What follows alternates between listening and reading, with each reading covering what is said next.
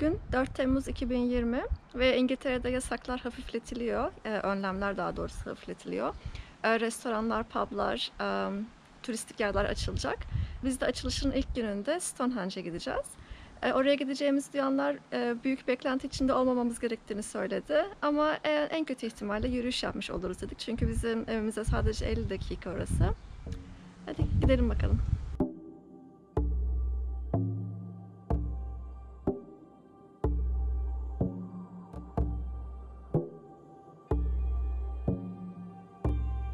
Şimdi otoparka geldik. Otopark ücretsiz bu arada. Ama kamp ve karavan yerleri de bugün açıldığı için yollar acayip kalabalıktı. Tatile giden insanlar vardı. Bakalım burası ne kadar kalabalık olacak. Bir de açık alanda yürüyeceğimiz için umarım işte çok güneşli olmaz falan diyordum. Ama biraz fazla bulutlu galiba aslanacağız. Ziyaretçi sayısını sınırlandırmak için rezervasyon şarttı. Biz de rezervasyonumuzu yaptırıp geldik. Ama şu an girişte sıra bekliyoruz. Şimdi biletlerimizi aldık. Ee, Üye olmayanlar için giriş 21 pound. Ee, İngiliz Heritage veya Nation Trust üyelerine bedava. Bizim de Nation Trust üyeliğimiz olduğu için bedava girdik. Ee, bu iyi oldu çünkü biz ayda 5 pound veriyoruz ona ama 4 aydır koronadan dolayı kullanamıyorduk. Böyle bir 4 aylık kullanmış olduk 20 poundlık yere bedava girerek. Kayalar 4 metre yüksekliğinde, 2 metre genişliğinde, yaklaşık da 30 ton ağırlığındaymış.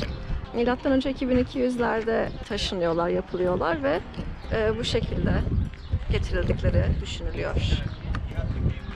Bir de tepelerine böyle çıkıntılar yapmışlar. Üzerine oturacak olan parçada da girinti var. Bu şekilde sanki ahşap mobilya yapar gibi kayaları birbirlerine oturtmuşlar. Yarım saatlik bir yürümenin sonucunda taşların olduğu alana vardık.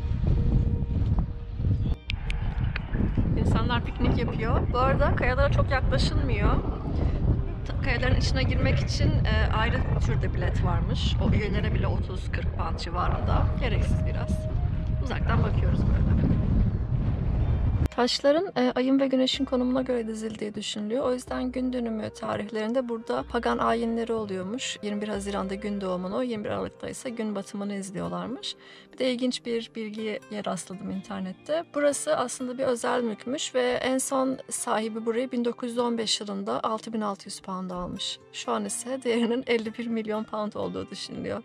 Değişik bir yatırım. Evet tatlım ne düşünüyorsun? Gezimiz bitti şu anda. Sence buraya gelip e, biletle girmek için 21 pound vermeye değer mi? Gelip 21 pound verip bu taşları görmeye değmez. Ben de şunu söyleyebilirim.